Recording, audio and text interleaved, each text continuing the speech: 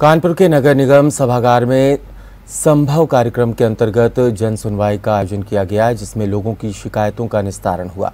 इस दौरान अपर नगर आयुक्त सहित कई अधिकारी मौजूद रहे।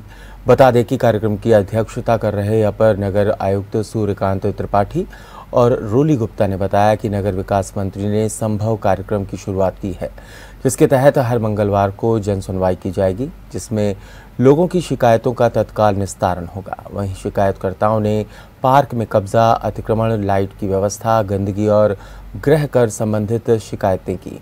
शिकायतों पर अपर नगर आयुक्त ने संबंधित अधिकारियों को निस्तारण के निर्देश दिए।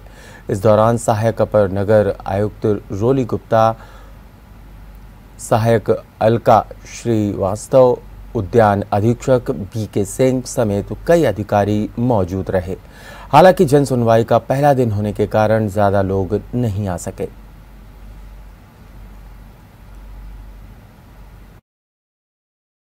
ये माननीय नगर विकास मंत्री जी द्वारा संभव के तहत प्रति मंगलवार 10 से 12 बजे नगर निगम, हर प्रत्येक, प्रदेश की प्रत्येक नगर निगम में जन सुनवाई का आयोजन किया जाएगा। उसी के तहत आज हमारे यहाँ कानपुर नगर निगम में संभव के तहत नगर जन सुनवाई का आयोजन किया गया है जिसमें सुबह से शिकायतकर्ता 10 बजे से आ रहे हैं अपनी शिकायत दर्ज करा रहे हैं। अब तक कितने लोगों ने शिकायत दर्ज कराई और क्या क्या शिकायतें आई हैं?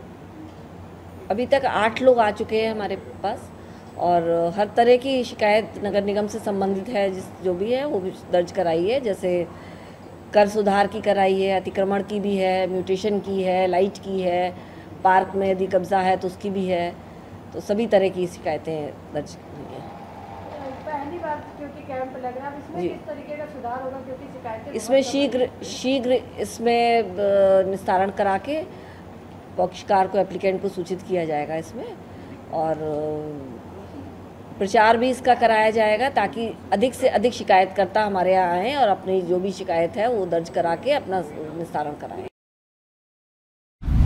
अगर आपको हमारा वीडियो पसंद आया हो तो हमें लाइक करें, सब्सक्राइब करें और ज़्यादा से ज़्यादा शेयर करें। और हाँ बेल आइकॉन दबाना ना भूलें ताकि हर खबर का अपडेट आप तक पहुँचे तुरंत।